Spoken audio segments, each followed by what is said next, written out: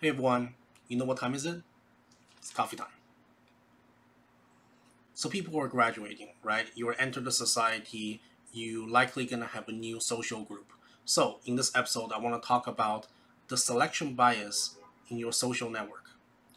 It's gonna be a great episode because me personally, as an international student, when I came to the United States, that was a great challenge for me. So I use this golden rule and I'm gonna tell you what that rule is to use as a guidance for me to choose my social circle. And being in this country for 10 years, you're gonna be surprised that how little people know about this knowledge. So I just want to take this episode and share with you guys exactly what this golden principle is. So the first thing I want to say is the word bias itself. And it turned out the definition of the word bias from linguistic point of view, it's the actions that support or against a person in an unfair way. So if you think about the tone of this definition, automatically it's embedded that negative energy, right? Unfair way. That is not the bias that I'm talking about, okay? From statistical point of view, the bias has no positive or negative energy, okay? It is merely a deviation from the mean. So in other words, from statistical point of view, you can just go on Wikipedia and check out the bias of an estimator. An estimator can be as simple as an average. There's a class full of students, take one exam, and you look at the grades. What's a good estimator for the grades of this entire class? Well, you can look at the average, right? You can also look at the standard deviation, right? So average by itself can be an estimator. Is this estimator biased, right? The definition of that is you take a look at the expectation and you see how much it deviates from the mean.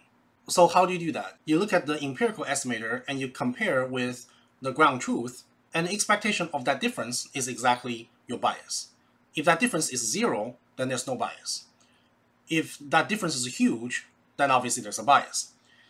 But if you look at this bias from a statistical point of view, there isn't really a negative energy surrounded, right?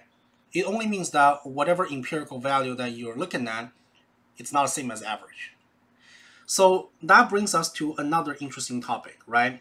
If I'm an international student and I go to University of Rochester to do my undergraduate study. Let's say an entire school has about 10% of international students.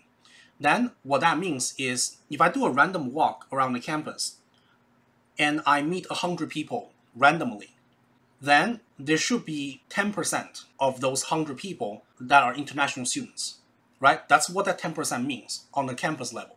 So you can take an experiment, right? So after a whole semester, you can calculate the statistics, right? Maybe you have 20 friends, and maybe you look at which one of them are international students. Is that number higher than 10% or lower than 10% or exactly 10%?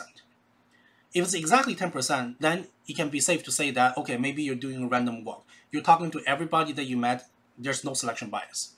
If it's higher than 10%, unfortunately, there's a selection bias if there's no selection bias, think about it. How is it at all possible that I'm doing a random walk on a campus that has average 10% of international students, and it happened to be the case that end of a semester, 90% of my friends are international students?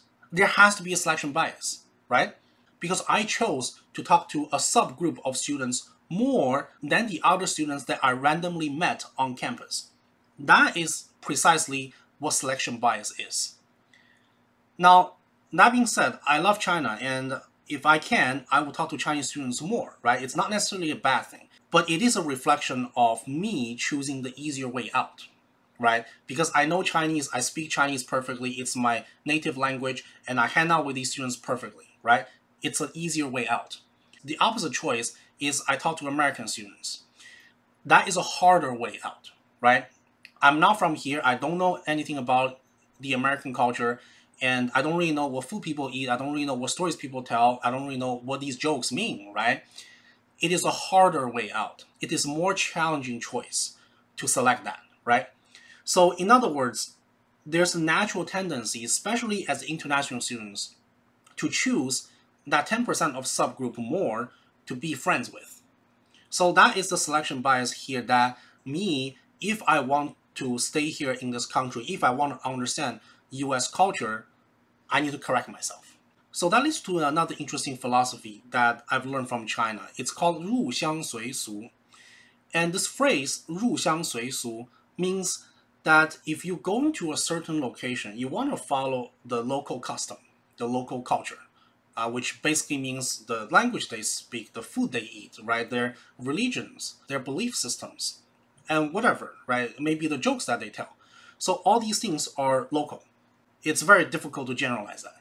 So if you want to understand the local custom, the local culture, then you better go out there and talk to different people, right? So that is the story here, right? That is the correction here that I need to change myself if I want to learn more about US culture, which end of the day, that's exactly what the goal is, right? Otherwise, why do you want to come here for college? So let's come back to the punchline of this video. What is the golden principle? The golden principle is you look at your own statistics and does it match the global average of that location that you belong to, right? if those two numbers don't match, then that's an implication that you have a selection bias. Then you need to make a judgment call, right? You either say, hey, I don't really care about that, and you know, I'm very comfortable of where I am, and you don't make the change. Or you say, okay, something's happening, I need to correct myself, I need to correct my own behavior, I need to correct my own choices, so I'm choosing the harder way out, just for me to be exposed of different culture. And that is the fundamental choice here that's led by this golden principle that I believe is extremely important to share. If you're entering undergraduate for the first year, you need to know this.